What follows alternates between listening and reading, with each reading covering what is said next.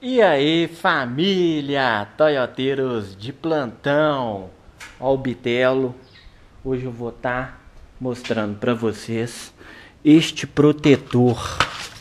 Tá vendo, galera? Muito top, tá? E é muito prático, esse é o transparente, tá? Vocês encontram no Mercado Livre. E aqui é muito fácil de instalar, tá vendo? Traseiro passageiro. Então não tem segredo nenhum de você estar tá instalando ele. Aqui também tem todas as dicas.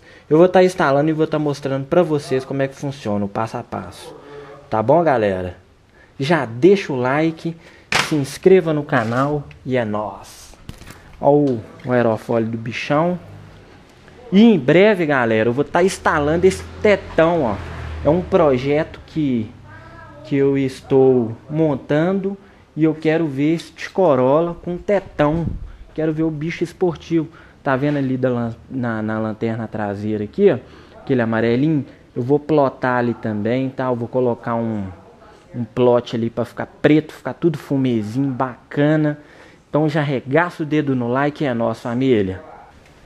Então, galera, aqui é muito fácil, tá vendo? Que você remove ele totalmente, né? Aqui, ó. Ela vem aqui, ó. Tá vendo, família? E agora vem cá com a espátula.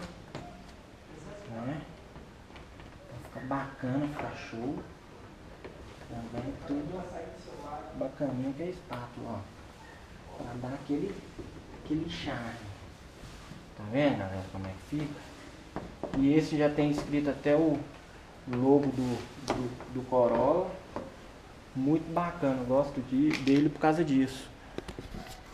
Tá vendo aqui, ó? Como é que fica, galera? Que eu já colei no, no centro. Do outro lado também eu já colei. E agora eu vou estar tá mostrando vocês aqui na frente, galera. E já, já me, me acompanha aí que eu vou estar tá fazendo vários vlogs agora. Tá vendo o dianteiro como é que ficou, galera?